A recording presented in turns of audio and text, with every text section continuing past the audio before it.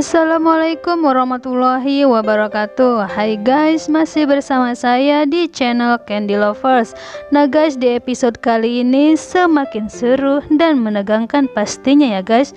Di mana ketika Dewa berada di kantor, dia menemukan kenangan-kenangannya bersama mantan kekasihnya yaitu Claudia Ketika melihat semua kenangannya bersama Claudia, Dewa pun merasa sedih dan kemudian Dewa mendatangi makam Claudia ya guys.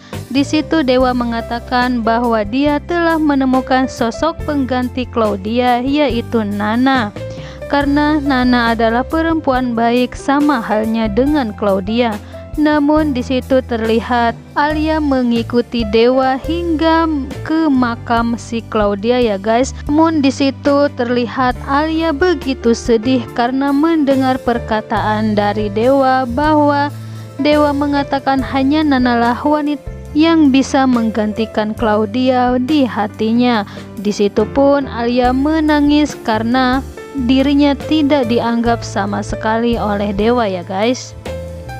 Kemudian Dewa pun membakar semua kenangannya bersama Claudia.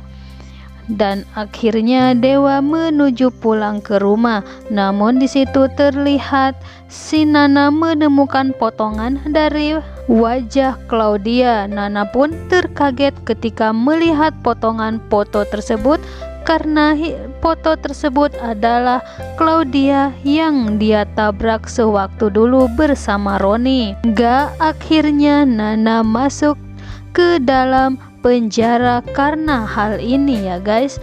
Nah di sisi lain Nana menceritakan kejadian tersebut kepada Lula dan Lula pun begitu kaget mendengar cerita dari Nana tersebut. Namun di situ terlihat ada Pasha. Pasha pun terkejut dan ingin mencari tahu siapa sebenarnya yang telah Nana tabrak yaitu seorang wanita ya guys.